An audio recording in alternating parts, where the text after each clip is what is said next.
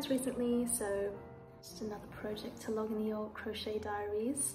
This project in essence, very easy, scrap yarn friendly as well, even with a single crochet stitch. We're not using a lot of yarn. Um, I made a mistake of using, I just really wanted to use the yarn. I had like a wool al alpaca, I think, blend for this first variation that I did.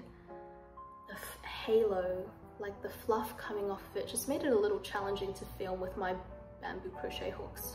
I'm hoping it's not too much of a dog's breakfast in the finished product, but I'll try to add notes and commentary to help if there's anything that's unclear with what was being filmed. But this version just makes use of a single crochet stitch from start to finish. I wanted to use two different colors, um, a white and then a red border as an accent, which I think is still a good, a good combo. I probably recommend like a cotton yarn for this project. The second version that I worked on uh, differs a little bit at the ends because I had this ribbon that I wanted to feed into it. So it still tapers, similar to this version. But instead of continuing on with a tie, we make a loop to feed in our ribbon. Also really easily achieved. So still a cool project, even though I had some wayward results. Let's talk about what equipment we'll need next. So I think using cotton yarn is a great choice for this project. I used a four ply myself for the headband that uses a ribbon. I also watched a video by Jayda InStitches where she recommends cotton as well for its durability as well as how it holds its shape even after washing. I used a 3mm crochet hook for my 4 ply cotton yarn and a 7mm for my slightly heavier woolen yarn. Have some scissors handy, darning needles to weave in your ends. This is optional but having measuring tape handy can also be a good idea for this project in case you didn't make any adjustments for your particular head shape and size. Another optional piece of equipment, but I had some ribbons lying around that I wanted to use.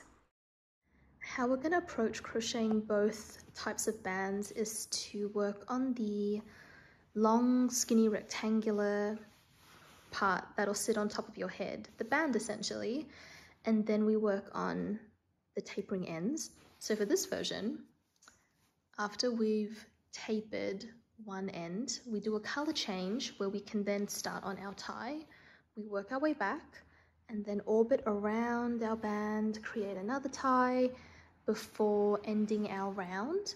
And then for this version, we just start decreasing to create this end before chaining the loop to feed in our ribbon.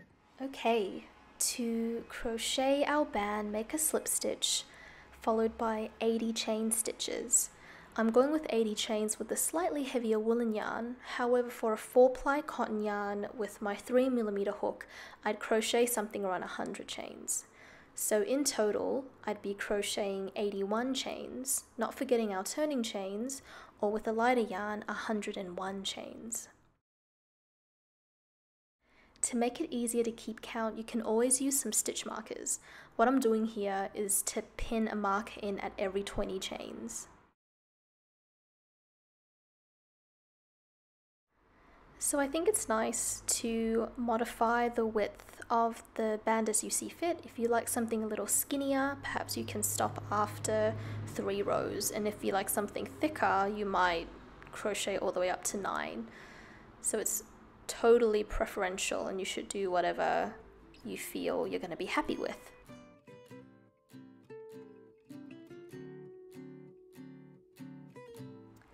I continue to do this for five rows that's about the width that I'm happy with for the band, remembering that the red border will also add some additional thickness to it.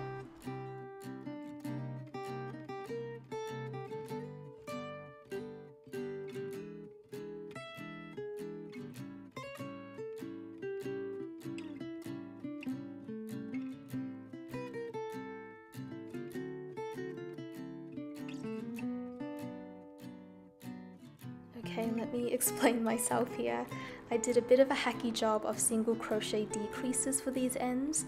I think the end result looks okay, but I'll also show you a clearer demo for the cotton headband, where instead of decreases, I would skip the very last stitch of a row before moving on to the next that also gave a gradual decrease. However, if you did want to use single crochet decreases, what you do is to pull up a loop in each of the next two stitches and then yarn over and pull through all three loops on your hook. Because I had five rows, I would start the decreases by skipping the first stitch of my starting row, where my turning chain is, decrease and then single crochet into the last two stitches. I would alternate that the higher up and narrower I got until I reached a single stitch.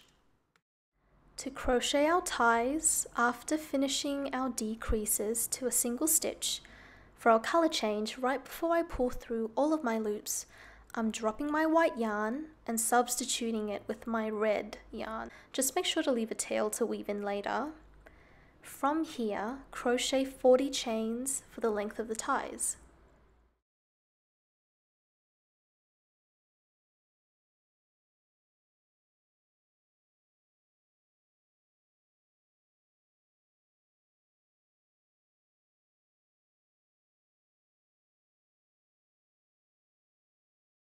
This is a completely optional step, however, instead of working through the front side of the starting chain, I learned a trick of working my stitches into the back bump for what I think is a neater bottom edge.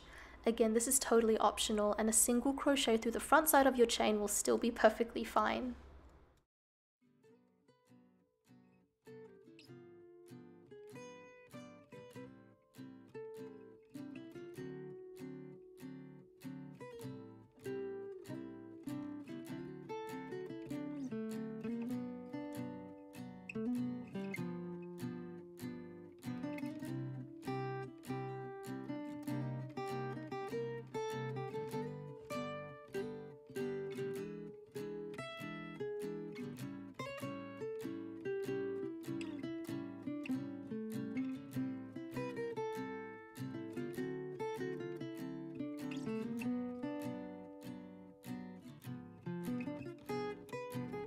What we do here is then orbit around our work so that the ties are comprised of one row.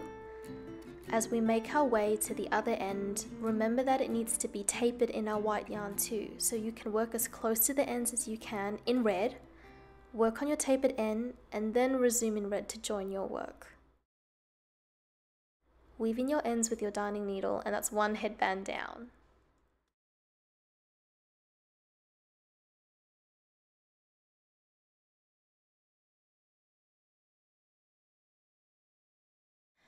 Because we want to attach ribbons to this headband, the ends will differ a little. Let me show you how I tapered these ends and then chained a larger loop to allow for a ribbon to fit through.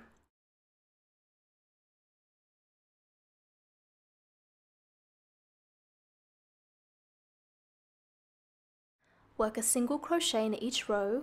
The main thing is to kind of work around the stitch as opposed to in them so that your work is even. And you can kind of see this when you hold your work flat and you can see gaps into it. Insert your hook through those gaps.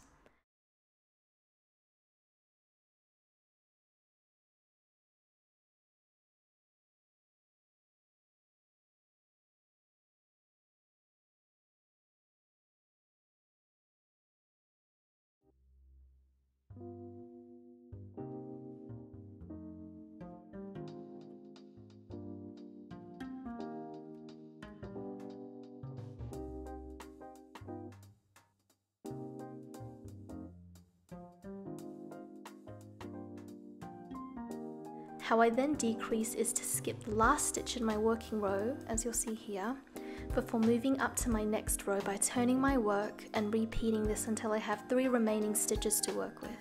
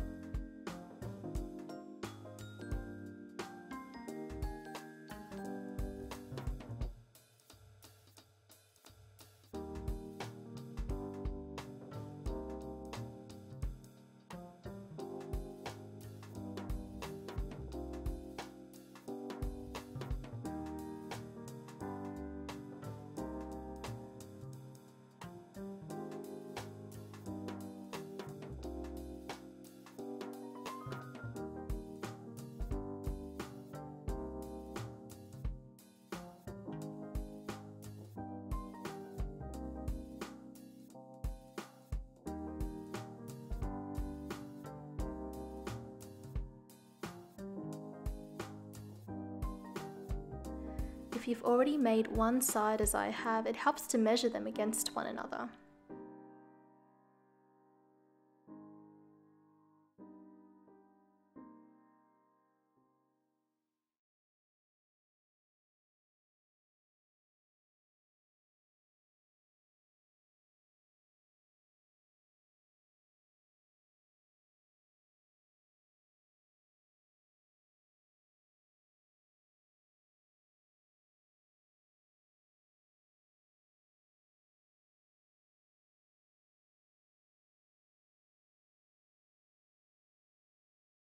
For the size of ribbon I'm wanting to use, chaining 6 and slip stitching into the third stitch of my working row was sufficient size.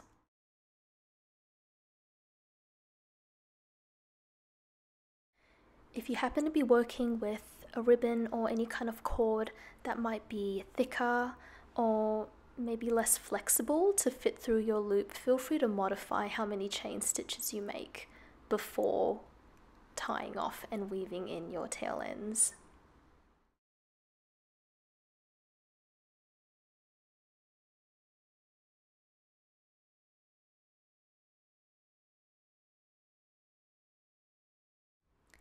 Aside from that though, you are done. I hope you give both of these patterns a try. I really hope this video wasn't too confusing to listen to.